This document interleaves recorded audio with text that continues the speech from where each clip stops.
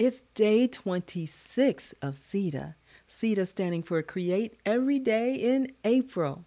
And oh my, I, I can't believe that it's almost done. It is almost done, but I'm going to keep on doing. All right. Well, on this particular video, what I wanted to show you is how to get back to the middle. How do you get back to the middle? I'll show you right after this.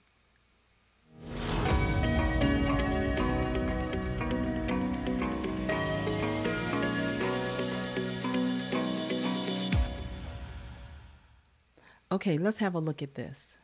Look at your settings. All in the middle, right?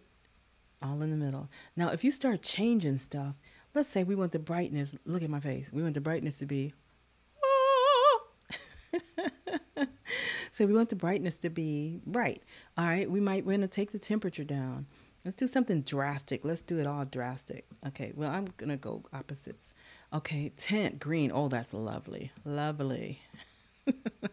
We turn the saturation way up, and then the gamma will just, yeah, there we go. Mm-hmm. Fabulous. All right, now what you want to do is if you decide you don't like it like that, then please say you don't like it like that. what you want to do is go to the reset button, okay? And then you just click it and everything will go back to the middle. See that? Done. Yay.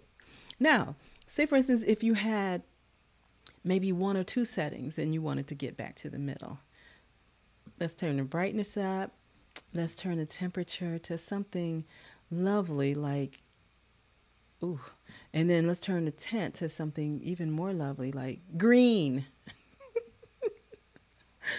reminds me reminds me of a bad sandwich. Anyway, um, so at this point, what you want to do Say, for instance, if you just want to get rid of the green and you want to go back to the middle, then you can do one of two things. You can take this slider and slide it, but and it sticks a little bit, so it's kind of it'll kind of get you to, to zero.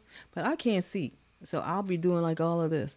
We're not doing that. So just say, for instance, you wanted to get right there real fast. You just double click on the bar, double click it, it goes to the middle. Ha! Double click it, it goes back to the middle. Double click it, it goes back to the middle. And I am back to normal. Don't know if that's so good, but I'm back to normal. and um, what else did I want to tell you about it? That's pretty much it. This, that's why we call it a Q-tip. So that's it. And that's all. See you in the next one. Bye.